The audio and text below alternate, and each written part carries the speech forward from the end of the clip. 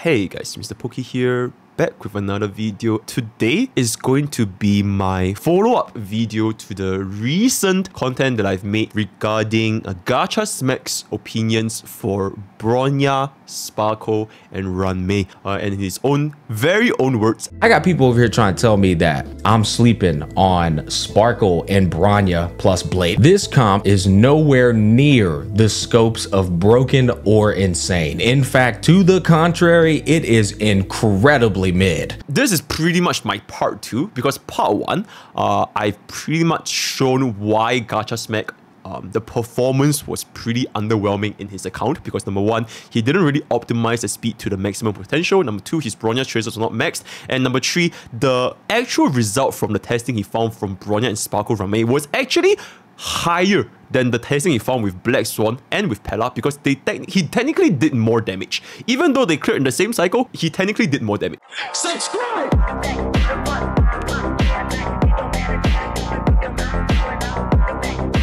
Okay, so today what we're essentially gonna be doing is the previous video was me pointing out the flaws with Gachasmack's runs when he was using Sparkle, Bronya, Ruan Mei. And today, I will essentially be doing the exact same team comp with three different DPS to show why this team comp is, in my opinion, one of, if not the strongest hyper carry setup pretty much anyone can run in Honkai Star Rail as of the current moment, right? So I have with me here three separate runs that I've recorded each with, this is Jingliu, this is with Welt, and this is with Blade, right? And each of these runs, I was running the exact same team comp, Ruan Mei, Sparkle, Bronya, Ruan Mei, Sparkle, Bronya, Ruan Mei, Sparkle, Bronya, just to really show you guys how universal this team comp is and it legit just makes everything work as long as you tick the criteria to actually make it work. So first of all, let's just show the very, very easy run. This was the run with Jingliu. She is pretty much the easiest because Jingliu by herself is just an incredibly insane DPS unit. So I'll just start with something that's not very impressive. So we'll start with Jingliu first. Um, basically, the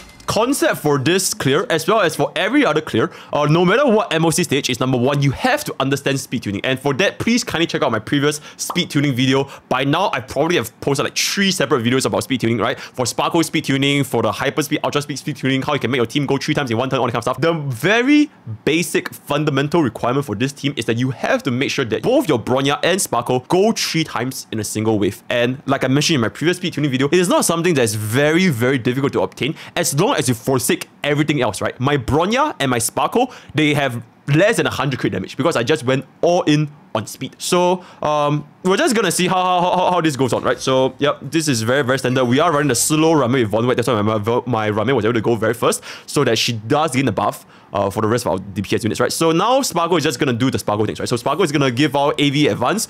Jingliu uh, essentially just uh, slow Jingliu build, all in crit rate, all in crit damage, I don't know what I was cooking here. There's nothing with the context, so I'm just gonna do this.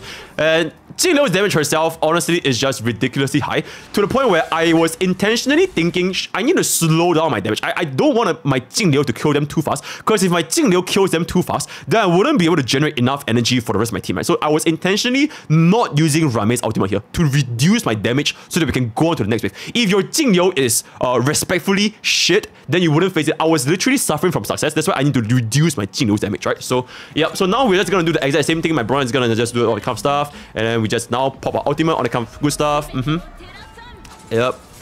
Keep in mind, this is completely without Ruan Mei's ultimate buff. Right? I, I was saving Ruan Mei's ultimate buff, right, for, for, for later on, right? So I don't want to waste it. So now we're just gonna do all this. Yep. Uh, remember, remember, I don't want to use my Sparkle's ultimate here because Sparkle is the one with Dance Dance Dance. And if I were to use Sparkle's ultimate, then Bronya wouldn't get the extra turn, right? We want to wait for Bronya to go. After Bronya go, then we can use Sparkle's ultimate. Right, so now you can see that we already pretty much almost killed them without using Ruan Mei's ultimate at all. Like, they're already pretty much almost dead. Uh, at this specific point, it was a little bit of RNG if the Automation lives. So I think I was trying to like one-shot this dude so that we don't face any RNG issues. But if he does live, then you have to grind a little bit of RNG here. Unfortunately, he lives, so we have to pretty much pull, pull this over, right? We use the ultimate, action value advance. Ruan Mei, we're, we're, now we can start using ultimate because it doesn't matter if we use the ultimate or don't use the ultimate anymore, right? Because it's gonna go on to the next wave, right? Now our buff from Ruan Mei is gonna last the full two turns. Alright, one skill, he's gonna do this. Um, uh, at this point, it doesn't really matter because they're, they're pretty much almost dead, alright? So there's a little bit of RNG here and there. Um, Sparkle is gonna buff her up.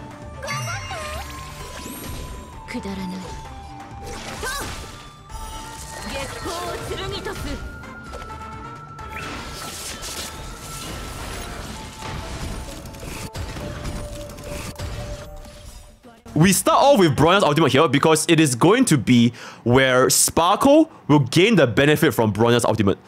And as well as Jingliu, right? Because the higher our Sparkle's crit damage, the more scaling. And this is very basic stuff. So uh, we just basically cast our ultimate. Yeah, Sparkle is gonna give us the action value advance. And now this is gonna be huge, huge damage. Because this is with all the buffs. Okay, I take it back. It's not even that huge of a damage. I mean, it is two target, but, but it's, it's pretty alright. It's pretty alright. And then we after we, we brought Basava again. Then at this point, they are pretty much almost dead. 32% health remaining. If we only had another two more actions, we wouldn't be able to zero cycle this. It is not quite enough to zero cycle this because it's still 32% HP and the other dude is pretty much like more or less full. So we do need a little bit more. We do need a little bit more. My, my right here is just, just she her, her purpose has been filled because we already have full coverage from the ultimate. Which is why I say slow Ruan Mei is the best Ruan Mei, especially for zero cycles, because her buff pretty much lasts the entire time, right? So now we, we just let it cook. Holy shit. That was a unbuffed E, by the way. Yeah, the chance of this happening is very, very low because my crit chance here is at 49% or 45%. So the fact that we actually managed to one-shot this dude, or almost one-shot this dude, okay, we actually one-shot this dude, it's kind of insane. Yep, then we. Now, after this part, we cast our thingy, and then you can see that my entire team goes up again. So at this point, we are pretty much guaranteed the kill. We are pretty much guaranteed. Remember that Gepard is Ice Rest, so it's not quite enough damage, right? So if we only had two turns, which was the unoptimized version, it wouldn't be enough. You need to make sure that your team is fast enough to go six turns. Then it's 100% enough. That's, that's where this team is truly, in my opinion, peak. It's the peak hyper carry setup, right? So uh, he's gonna do whatever he's do, but at this point he's, he's 100% dead. Alright. Uh, a little bit of a misplay here. I should have cast my ultimate. I should have waited for Sparkle to buffer up so that we can deal a little, little bit more damage. But at this point, it, it, it's completely irrelevant. Uh, it's just a little bit of misplay, but just so that you guys should know. Yeah, it, it was it was definitely overkill. Yeah, but keep in mind, we have a lot of leeway, right? This is two whole ass Jingliu turns that could have potentially happened. But because we are just dealing so much damage that we didn't really need it. But for players that doesn't have a very strong Jingliu or don't have like a E2 Ruan Mei or don't have a S5 Bronya, uh, there is definitely still a lot of leeway for you guys to do this zero cycle, right, with Jingliu. So uh, keep in mind this is also completely off element, right? This dude is Ice Rest and Jingliu by itself once again, showing you guys how useless Silver Wolf and Weakness Implant is in general. Because if you can brute force content, Weakness Implant is just genuinely nothing. But of course, okay, uh, Silver Wolf is catching strays, but at the end of the day, I just want to say, um, Weakness Implant is good for the new players, for players that are just starting out, for players that don't have very, very good relics. But towards the end, when you reach the end game here, Weakness Implant is just really not that important. I would just much rather you guys just go for all in hyper carry and just, just kill everything, right? So that is gonna be the Jingliu run, and as you can see from the gear towards the end, I'll basically show my build over here. Um, the slow Ruan Mei, alright, almost 6k HP. Um, yep, yep, yep, yep, yep. Right, my Jingliu herself is easier as well. Okay, I, I just, I do want to point out that, of course, not being biased or not being unbiased, this is a, I would say this is probably the top 1% now Jingliu. Uh, and I know that you guys probably won't even get close to this, but I just want to say that there is definitely leeway. There is definitely a lot of leeway because I killed it way too fucking fast, right? This is E0 S1 with full 4-piece quantum and 2-piece Rutilant Arena. Uh, uh, yeah, my Bronya you can see over here, the stats, it really is just super, super focused on the speed. My crit damage is completely non-existent. In fact, I wasn't even using energy regeneration rope. This rope over here is an attack percentage rope on Bronya. This is an attack percentage rope. Uh, it is really just for the speed. So, um, thought that you guys would know. Uh, and then the rest of is just, uh, my Sparkle is just all in like no crit damage, whatever, just, just give it the speed and completely off piece and on the counter, right? So this is going to be the Jingliu run, and now we're gonna move on to the second run, which is the uh, Welt run. Now the Welt run is honestly, um, I was way more impressed with the Welt run than the Jingliu run because Welt has been shed on for so fucking long. No one has been talking about Welt ever since Dr. Visual came out, and because his bounce is all over the place on the counter. But now with the god tier Giga Chat hyper carry like six turns even Welt can zero cycle while being technically not on element, especially against the quantum weak enemy, right? Especially against Olumetron, uh, 40% imaginary as by the way. Uh, but uh, Gepard is weak to imaginary, so it is not too bad. But we just take a look at the run itself, right? Welt himself as a DPS is, you know, is not that strong compared to Jingliu, but um, at the end of the day, we are still gonna be able to do it. Although we will have to grind out a little bit of RNG, But I'm just saying, the potential is there. The potential for this comp to work is definitely there, right? It is definitely not mid. It's the point that I'm trying to get. I'm not saying that you get this 100% of the time, but you can definitely do this when you when you when you grind it, right? When, when you grind it out. So, yep. Um, we pop this open, blah blah blah blah blah blah. Right, we do this. Pop open this over here. Use Sparkle's ultimate to action very advanced. Um, I don't think I use Bronya's ultimate because I'm trying to save the ultimate for the next wave. Alright, then we... Yep. Yeah. Then, we're just gonna basically use our skill. Okay, for this specific point, I actually used Welt's basic attack. I didn't want to use his skill because I were kind of running low on skill points. So Sparkle buffing Welt and Bronya buffing Welt, she's he's gonna basically use his basic attack to kind of increase our skill point positivity. So yeah, my basic attack is just gonna one-shot this dude. Boom!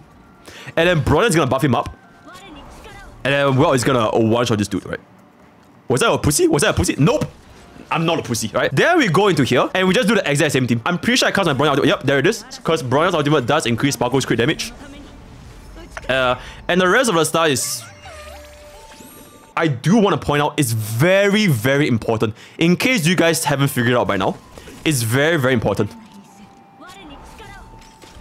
Note, at this point, I press my Welt's ultimate before his turn begins because at this specific juncture, Sparkle's crit damage buff from her Dream Diver is still active because it is not Welt's turn yet. It is extremely, extremely important you guys do this because if you don't do this, if you cast this ultimate when his turn begins, you will lose Sparkle's buff. So please, please remember, you can in fact time Bronya and Sparkle together such that both their buffs overlap which is what makes this comp really good. And I'm pretty sure players probably didn't even know this, right? And this can be applied to pretty much any DPS when it comes to the ultimate, especially for units like Argenti, for units like Seele, for units like like Jing Yuan. Timing this is gonna be very, very important, right? So um, my Welt's ultimate here is basically with the buff of Bronya, Ruan Mei, and Sparkle, right? The fucking, the trinity of friendship combined into one. And Welt is gonna go ahead and do tons of damage. It's not as high as Jingliu, but it's still pretty fucking high, if I can say so myself, right? So that is pretty much it. Um, at this point, my buff from Ruan Mei actually ran out because um, we did have two turns previously. Sorry. So at this point, our buff from Ruan Mei actually ran out. But I have no choice. I have to use the basic attack here because otherwise we'll run out of skill points. So this point, I, I do believe you need to grind it out a little bit to kind of grind the RNG from the ultimate come back up. I'm not sure if she we actually did grind it. Okay, I guess we didn't grind it out. So at this point, our Ruan Mei's ultimate is actually no longer up. Unfortunately. But, you guys can see, even without Ruan Mei's ultimate, our damage is still very, very sufficient to get our zero cycle. Yep. Same thing, cast Sparkle's ultimate only after Bronya's turn go. So after the Sparkle's Dance Dance trigger, you're gonna get everyone up. So everyone's gonna go up here. Okay? So now I'm just looking, this is all the buffs I'm gonna get, right? Uh, insane amount of buffs, right? Okay, then we're just gonna go hit. Uh, I do believe, I'm not sure if I cast my ultimate here. I don't think I did because I was thinking, yeah, I don't think I did. The reason why I didn't cast my ultimate was because in my mind, I was thinking, can we get Ruan Mei's ultimate back up in time if this dude hits Ruan Mei? Unfortunately, this dude didn't hit Ruan Mei, so I'm like, okay, you know what? Fuck it. We can't even get Ruan Mei's ultimate. Because if this dude hit Ruan Mei and if Gepard hit Ruan Mei, we can definitely get Ruan Mei's ultimate here, and Welt's ultimate here will do a lot more damage. But unfortunately, it didn't happen, so it is what it is.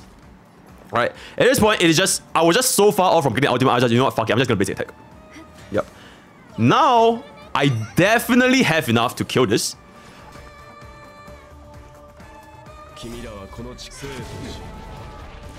I did use my ultimate here because using my skill will generate enough energy to trigger my ultimate again.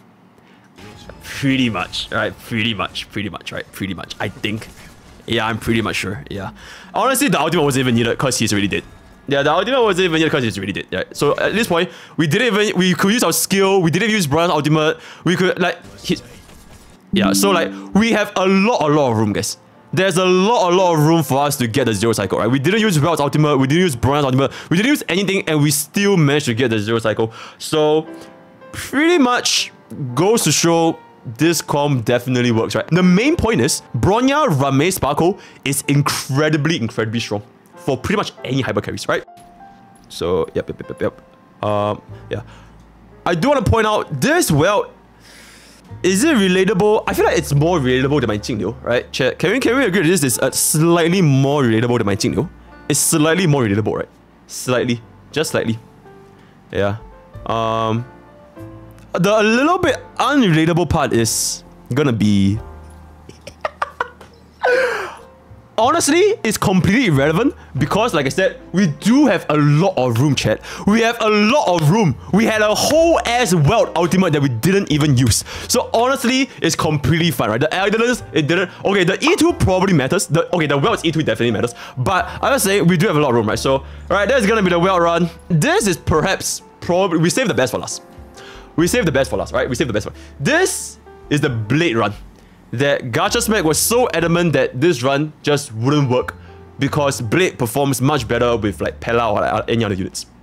So we did this run in the exact same stage, Svarog, with the exact same team comp, but the thing is, I tuned my speed better and it's a little bit more optimized. Although in front, I definitely failed quite a bit. And in fact, I will show you the runs where I failed, right? I'm actually gonna include the fails over here. Editor, you can you can include this. I, I, I intentionally show you guys how many times I reset to actually get this run. So you guys can get the gist of like some shortcomings of this build, right? Uh, but the thing is, the build is exactly the same. It's just that with as with any zero cycles, there's always gonna be a certain element of RNG involved, right? So this is actually completely fine. Or is it completely fine? It's not fine. Because Blade getting imprisoned means that Sparkle action value advancing our Blade, he's not going to be fast enough to get the first turn, right? So this is one of the ways that you can fail if, if, if Blade gets imprisoned. Then it's kind of uh, it's a warm bomb situation because he needs to go immediately. Otherwise, it just completely defeats the purpose, right? So yeah, at this point, I'm like, fuck my life. Yeah, then we just reset again. So that's one way that you, this comp can fail, right? This is one of the weaknesses. Yeah, Ruan Mei getting here is completely fine, by the way. It's completely fine. As long as she doesn't get imprisoned. So that's fine. We pop this. Rest of the run, you can see that it plays out exactly the same as the Jingliu run, as well as the Welt run, right? The rotations, they are exactly, exactly the same. Yep, then Bronya goes again, Blade goes again, yep. And then afterwards, I cast the ultimate, just do a little bit more damage. Um, okay, I do want to point out, this is a little bit annoying. This T-Rex it's a little bit annoying because sometimes this dude, he has the, um, if he hits you, you get pushed back, which can be a little bit annoying. But uh, lucky for us this time, it didn't trigger, so we're completely fine. Yeah. You can see how this gets pushed back. If the T-Rex pushes back our Sparkle and Bronya, it, we're fucked. We're fucked. Because if this pushed back by even a single action value, then the ultimate wouldn't be able to buff us up. But fortunately for us, he didn't push us back. He only pushed back um, Ruan Mei and Blade, which is completely fine. Yep. Yep. So we're still we're still well within our range. Um, just just hit the dino. Yeah, hit the dinosaur. Yep. Then Bronya is gonna go forward, pop it up, and then we cast the ultimate. Always cast Bronya's ultimate first because Bronya's ultimate benefits Sparkle as well, right? So something to keep in mind. If you have both ultimate at the same time, Bronya's ultimate first, then Sparkle's ultimate. Um, I actually I intentionally didn't use Sparkle's ultimate at this point because I was thinking to myself, okay, should I just gamble and hope to just one-shot them? Because if I manage to one-shot them here, I can actually save the ultimate for the next wave. But unfortunately, my damage was a little bit off, so I'm like, okay, fuck, it's too late. Yeah. So at this point, I was just testing my luck. I was trying to limit test a little bit. Uh, but unfortunately, it didn't work out. So at this point, I was just doing the normal things. Alright, then we do the normal action value advance. And then do this. And then this follow-up attack pops this. And then we go on to the next wave. Um, this run, I'm pretty sure I also failed. I don't remember why I failed, but I'm, I'm sure I also failed it here.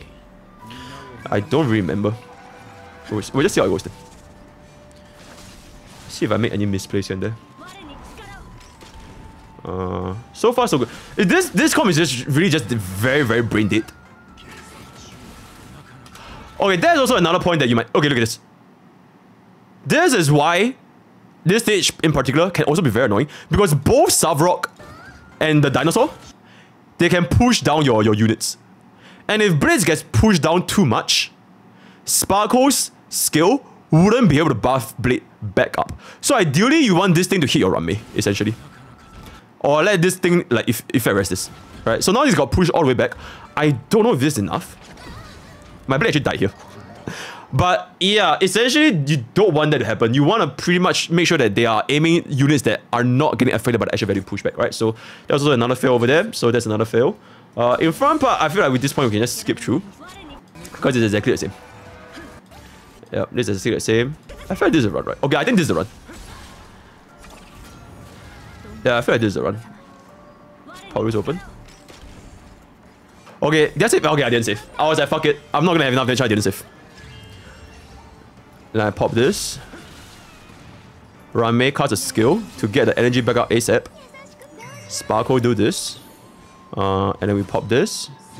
And then we kill here. Mm -hmm. If your blade doesn't deal as much damage, you still have a Bronya as the leeway to buff Blade up again. So he has one entire turn to make sure that he does enough damage. My blade is E0 as well, by the way. So yeah, you do have quite a bit of leeway here as well. But it's just, we, deal, we are dealing quite a bit of damage there. Our Bronya that wasn't really needed there. So we just moved on to the next phase. Okay. Uh, we cast our ultimate here. To get our health back. And then we have a follow-up here. Okay, cool. Always aim Svarog because his health pool is just more annoying. Yeah. Okay. That would be the ideal scenario. Because you actually want Ruan Mei to get pushed back so that this ultimate buff is actually up. So that would be the ideal scenario. Although you're kind of gambling 1 in 4. So it can be a little bit annoying. Blade can also get hit, but he cannot get hit too much, essentially. This was definitely annoying because our Sparkle did get pushed back. So we actually lost one Sparkle turn. But I feel that because my Blade's damage was high enough, I don't think it actually mattered to the point where we need to reset run. But this is a little bit annoying. For most players, if your Blade's damage is not high enough, then this point you have to reset because you missed out on one of turn. So now your Blade only goes 5 times. Um, and because the dinosaur actually hit my Sparkle as she got enough energy, and you can see that my action value was still very, very far, uh, I decided that the best course of action was to use my ultimate here. Just to buff, cast the buff up right now. Yep. Uh, so you can see that now my Bronya is before my Sparkle because of the action value um, pushback. I cast my ultimate here because Blade does benefit from the crit damage, and then later on when Sparkle buff him up, he's gonna be the same. 170k, actually insane. Right. So at this point, I pretty much have to kill them with um, Blade's hit into ultimate to follow up. Because Bronya is our last line of defense. Because our Sparkle didn't have enough action value due to the to, due to the pushback. I cast my skill here to get my ultimate back up so that I can still have my, my rest penetration. Because at this point, I ran out of rest penetration, which was very, very lucky. So Blade went ahead to do this into one hit into a follow-up. Um, I'm pretty sure I didn't cast my ultimate here. I was waiting for Bronya's ultimate to buff and Blade back up. Yeah. Yep. Yep. Then Bronya's ultimate buff into my blades this thingy. And this will pretty much be the run. And then this one shots. Yeah. I was going for the dramatic effect slow down, but I was like, nah, it's good. It's good. So that's pretty much the end. Then I'll show the build again. Uh, all no, my supports build are exactly the same, but my blade build, um, this is my blade build. Uh, is it relatable? I don't know. Okay, fine, fine. It's not very relatable as well. But the, the point is, the point is, it is definitely doable. Alright, it is definitely doable. Even if your build is not that great, um, the fundamental principle of this comp is to show that if you were to play Bronya and Sparkle at 6 turns per one cycle, it wouldn't be enough.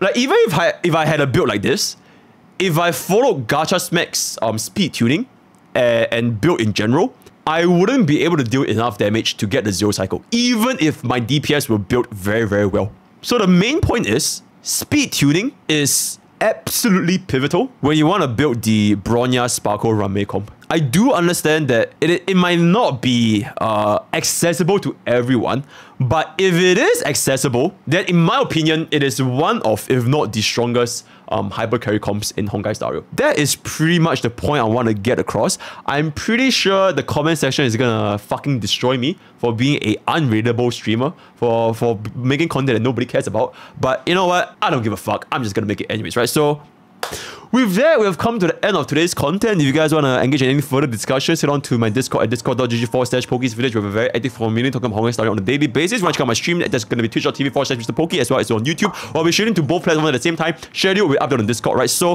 uh, that's pretty much all I have for this build. I really think that Bronya Sparkle Ruan Mei is a very, very good comp. Uh, it might be a little bit unrelatable to some, but if you guys actually can do it, do enjoy it, right? So, all the best for your Sparkle Pools. All the best for your Relic Rolls. Alright. Blessings of Pokke. And I'll be seeing you guys next time. Take care.